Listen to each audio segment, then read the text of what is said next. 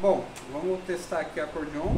Eu fiz a revisão, o fole dele estava vazando um pouco de ar. Trocamos os vedantes, arrumamos a chave de vazamento de ar também, né, de escape. E os castelos estavam meio solto do, da baixaria. Ó, não sei tocar acordeon, então perdoa erros.